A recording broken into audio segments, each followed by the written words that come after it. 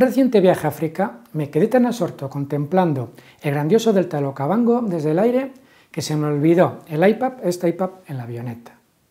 Cuando me quise dar cuenta, la aeronave ya había despegado a un rumbo desconocido. Y de repente me entró una sensación de pánico. A miles de kilómetros del despacho me pregunté, ¿y cómo veo yo ahora los correos electrónicos? ¿Y cómo sigo mis perfiles en las redes sociales? ¿Y cómo sigo la actualidad de España desde los periódicos digitales? En definitiva, que me encontré bastante perdido. Después de estar 15 días sin conexión a Internet, ¿sabes lo que pasó? Pues nada, absolutamente nada. Aparte de tener 400 correos electrónicos en mi cuenta, de los que ninguno era urgente, este hecho me demostró que tampoco es tan importante estar todo el día conectado a Internet, estar pendiente de los correos electrónicos, de los diarios digitales y de las redes sociales, siempre y cuando las circunstancias os lo permitan.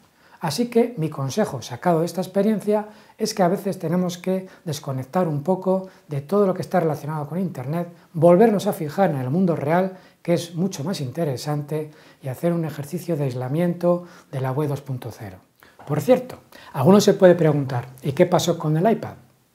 Pues bien, os diré que después de volar sobre varios puntos del continente africano durante varios días, un amable piloto negro me lo devolvió en el aeropuerto justo cuando iba a despegar hacia Europa. Este hecho desmonta algunos de los estereotipos que tenemos sobre África, pero eso es material para otro videopost.